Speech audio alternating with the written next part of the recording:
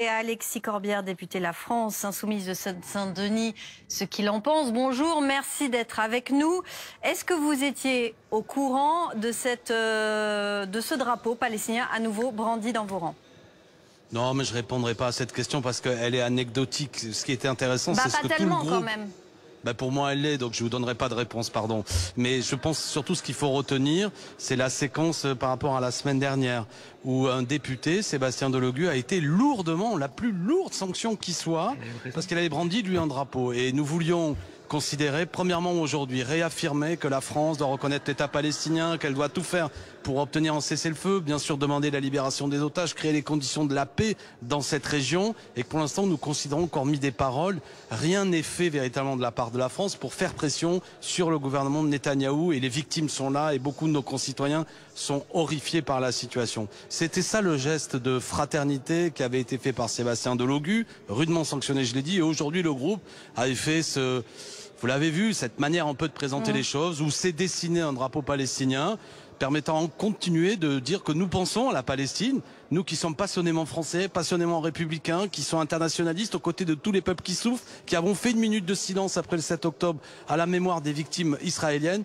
Aujourd'hui, nous voulons que personne n'oublie le martyr actuel des, des, populations de Gaza, les 30 000 victimes, ses enfants, etc. Alors, vous ne voulez pas me dire si cette action était concertée, mais est-ce qu'elle a eu raison de le faire? De sortir ce drapeau? Mais là encore, je, ce sont des gestes de fraternité et de solidarité. Si elle le fait, c'est dans un esprit de paix et de fraternité. Ne, ne me demandez pas de, de, critiquer une de mes collègues. Ce ne sont que des gestes symboliques. Symboliques. Ça n'a rien d'agressif. Ça mais rien le, symbole, le symbole est interdit dans l'Assemblée, quel que soit le drapeau. On l'a bien compris. Oui, mais euh, nous avons dit la dernière fois, et rappelez-vous, que euh, il y a, c'était en 2019, un député à l'époque de la majorité aussi avait brandi un drapeau. Il y avait marqué la France tue au Yémen. Il n'avait quasiment pas été sanctionné. Euh, Madame Braun Pivet a rappelé qu'on ne peut pas, dit-elle, dans une petite vidéo qu'elle a fait circuler, peut-être en avez-vous parlé, montrer des boîtes de conserve, des aliments. Pour ma part, je l'ai fait en 2017 pour matérialiser le fait qu'avec 5 euros, le gouvernement voulait supprimer 5 euros sur les appels, on peut acheter des denrées. Je n'avais pas été sanctionné. Et là, d'un seul coup, on ne sait pas pour quelle raison, la dernière fois, Madame Bande-Pivet a lourdement sanctionné Monsieur Delogu. Il est exclu. C'est grave, il a été élu par les citoyens. C'est pas Madame Bande-Pivet qui Il est exclu pour 15 jours, c'est une ah ben, exclusion temporaire. Non, madame, c'est pas une exclusion temporelle. Moi, je suis attaché au mandat de parlementaire. C'est le peuple qui décide.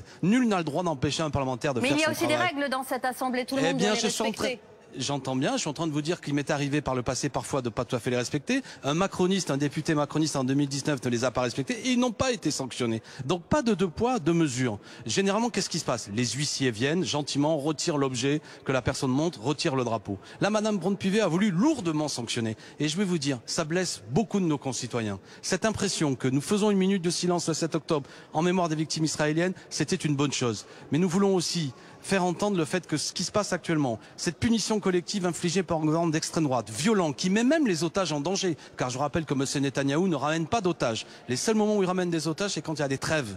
Il est temps que cela cesse, que cela cesse, sinon c'est que du sang et de la haine qui va emporter si toute la région. Si est à son tour euh, condamné à une exclusion temporaire de 15 jours, vous allez à nouveau, dans une semaine, brandir un nouveau drapeau palestinien dans l'Assemblée? Ben je, on vous réservera la primeur de ce que nous ferons. Mais je tiens à rappeler que Mme Braun-Pivet a plus sanctionné en deux ans, depuis qu'elle est présidente, que depuis toute l'histoire du Parlement. On n'a jamais vu ça. Ça sanctionne tout le temps. Je vais vous dire, le Parlement, c'est un ensemble d'hommes et de femmes passionnés qui parlent, qui se coupent la parole, qui s'interpellent. Ça a toujours été comme ça. J'invite les Français à relire leur manuel d'histoire. Sous la Troisième République, sous la Quatrième République, ça débattait. Le grand Jean Jaurès, vous savez, s'est fait gifler par des monarchistes euh, dans l'hémicycle. Il y a eu des moments de passion. Et là, maintenant, on a l'impression que le moindre geste, un morceau de tissu pour dire fraternité et solidarité avec le, les Palestiniens devient quasiment quelque chose d'impossible. Moi, je dis qu'on n'a pas le droit d'interdire à un député de faire son travail et que la sanction qui a été infligée à M. Delogu, euh, comme toute autre sanction sur ce terrain-là, est évidemment totalement inacceptable et contraire à l'idée que je me fais du parlementarisme et de la représentation de nos concitoyens. Merci Alexis Corbière d'avoir été en direct avec nous.